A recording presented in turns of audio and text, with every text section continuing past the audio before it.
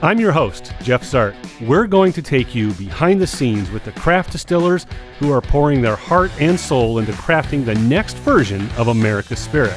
This is the Great American Whiskey Cookers.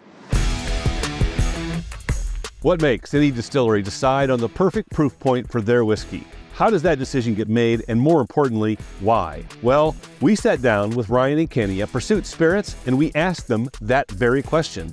It might surprise you as to just how they decided that 108 proof was the perfect proof for their whiskey. I mean, there was a there's a pretty funny story about even how we got to to 108. Yeah, how did you get to 108? I mean, Because you guys have hung at that proof point.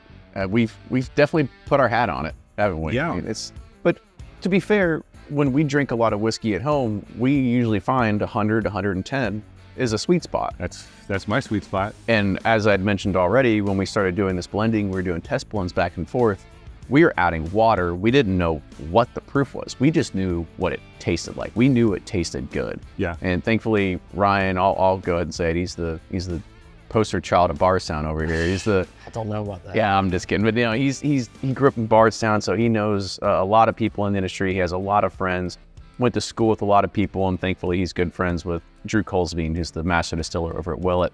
Sure. And he just calls Drew up and says, as I'd mentioned, we don't have all the equipment, and all these big distilleries do. And it says, can we use your equipment to to proof it and see what we have? And that's when we found out it was 108. And then we made another blend after that. Didn't know what it was. Went and proofed it again, and it was also 108. And I think we just realized, well, 108 is just really what we love. Right. Yeah. We feel like it's the perfect proof point for our whiskey. It still has a lot of barrel characteristics, but it's not going to overpower your palate as barrel proof was. So it appeals to a, a wide array of consumers that we're trying to appeal to new consumers, but also, you know, whiskey geeks and people just want a really good, flavorful expression and at a really good price point. Sure. And the other thing that was also, as we kind of mentioned, proofing our whiskey with our whiskey, is that when we take the the 119, the 120, and anywhere between 99 to 105, put it together, we are adding a lot less water. So our cask strength typically is around 118 to 120.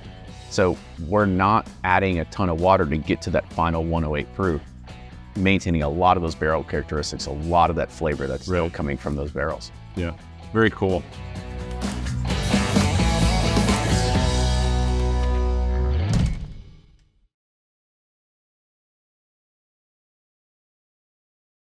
A lot of bottles that we get sent to like to review and taste from everybody. Obviously, we can't get to it all. So like, Right. this is the the bottles that we try to for whiskey quickies and reviews, and then we have a whole nother of I'm sure calls and stuff that get sent to us. So we got enough bottles for about about ten, and then it's